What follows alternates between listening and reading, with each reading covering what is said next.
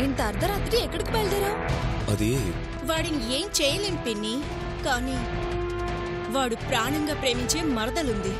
సావిత్రి. దానిని లేపేస్తే